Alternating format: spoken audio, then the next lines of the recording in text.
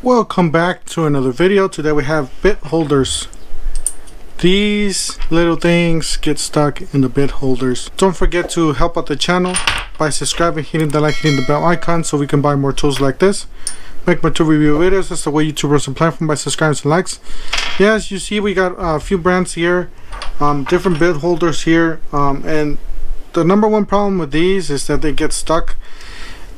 Uh, they're really hard to pull apart it's really hard and I'll show you guys how to do it. Alright so um, usually DeWalt has this problem. It's the biggest problem. Um, but somehow this one um, it is working really good. I don't know maybe they just eliminated the problem. But it's it's helping. It's actually working really good. I'm surprised because I tell you guys the truth I, I threw away already like three or four of these already because the bits got kept getting stuck um, I was filming a video of this kit here, the 99 piece kit, and I found out how to do it. So um, this bit, it is stuck in here. I can't get it out. You guys see how stuck that is? I can't get it out. So there's one secret to do this. I'm not going to take long. So at least in the Milwaukee, we know that when they get stuck like this, you have to twist it.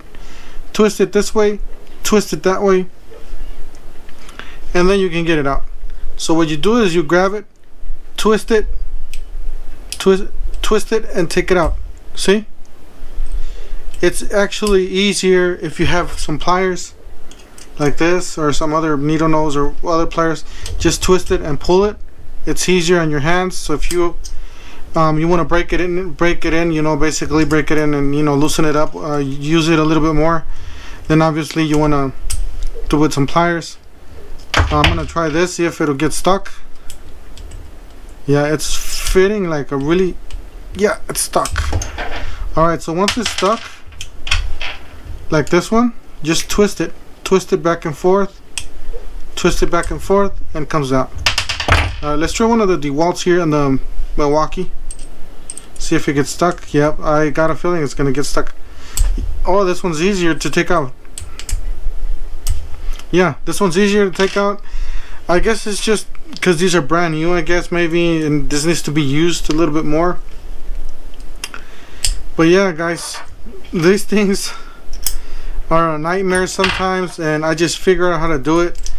I know there's a lot of you out there that already told me or asked me in the comment section how do you guys get these out? Do you guys got any problems with these? You know and it, it, it just becomes a it gets annoying guys. It gets annoying from these brands you know even from this one which I didn't expect because uh, the other ones worked. Um, but you know easy fix. Some pliers. This one is the one that doesn't work because this one's magnetic.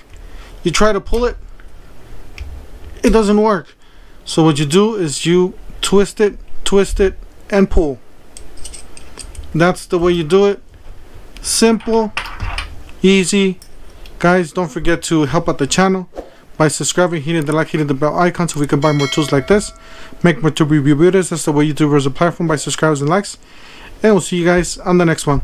Thank you for watching.